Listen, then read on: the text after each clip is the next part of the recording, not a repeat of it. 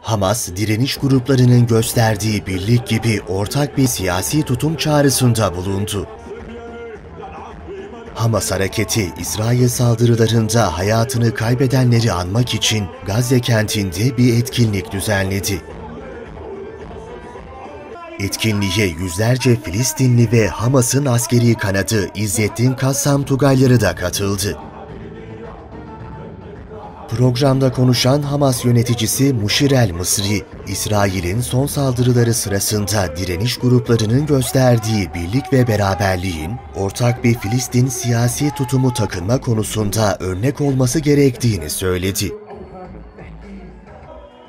Saldırılarda zihinlerde en çok kalan tarafın Filistin halkının her nerede bulunurlarsa bulunsun gösterdiği birlik olduğunu ifade eden Mısri, son saldırılar sırasında direniş gruplarının uzun yıllar yaptığı hazırlık ve biriktirdiği gücün sadece Gazze'yi değil tüm Filistin halkını ve Kudüs'ü korumak için olduğu ortaya çıktı diye konuştu.